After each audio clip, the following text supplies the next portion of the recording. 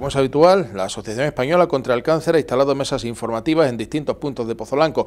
En concreto, nosotros nos hemos acercado a la mesa que se encontraba en la calle Real. Eh, hoy estamos insistiendo mucho en la prevención del cáncer de colon y es el cribado de cáncer de colon, que es una prueba eh, muy sencilla, indolora, porque es un test de sangre oculta en las heces y que es muy barata. Entonces eh, ya se está recibiendo en Pozo Blanco las cartas eh, bastante población la está recibiendo para que se hagan esta prueba.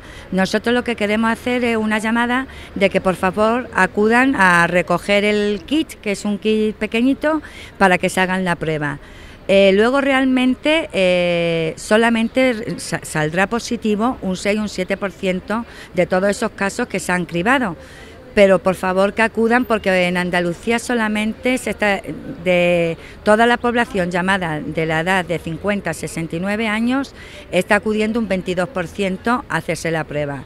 Entonces estamos insistiendo en eso, que el que reciba la carta acuda a su, médico, recoja el kit, es, es muy sencillo de hacer en su casa y luego ya normalmente da negativo. ¿Queda positivo? Pues ya se le mandaría hacer una colonoscopia Quiero dar los datos que la prueba del kit de sangre oculta las heces cuesta 2 euros y la colonoscopia cuesta 180 euros, cuando el tratamiento, el detectarlo a tiempo, cuesta 1.700 euros. Entonces varía mucho, o sea, estamos ahorrando bastante dinero. Eh, ¿Qué pasa? ¿Que la gente no, se está concienciando, no acude a, a las pruebas? ¿Por qué? ¿Hay alguna causa? Eh, bueno, lo principal es la desinformación, por eso queremos informar a la población que no duele ni nada. Y segundo es el dicho como pasaba con la mamografía, ¿y si me sacan algo?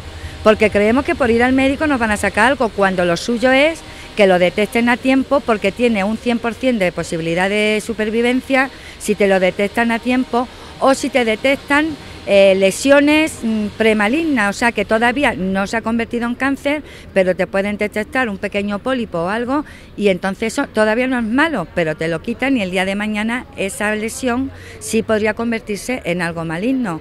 Por eso es la importancia de la prevención y detección precoz. María Jesús, ¿tienes datos sobre qué incidencia tiene este cáncer en la población en general? Pues sí, el, cáncer de colon rectal es el que mayor cantidad hay entre todos los cánceres. Hay un 14% de el cáncer de colon en la población. Luego el segundo sería el de mama y el tercero el de pulmón. Después, entre los hombres, el primer cáncer sería el de próstata, seguido por el de colon, y en las mujeres el primero sería el de mama, seguido por el de colon también. Por eso insistimos en la detención precoz. El de próstata, los hombres casi ni uno acude antes de que tengan muchos problemas. Por favor, acudan a su médico a las pequeñas molestias que tenga y entonces se podría detectar a tiempo y los tratamientos no hace falta ponerlos, sino que es mucho más fácil curarlo. Eh, María Jesús, ¿en qué sitio estáis ubicados esta mañana? Pues nos encontramos en el centro de salud, en el hospital comarcal y aquí en la calle Real. Antes no lo hacíamos, pero creemos que es un sitio muy bueno para dar información los dos centros sanitarios que tenemos en, el pueblo.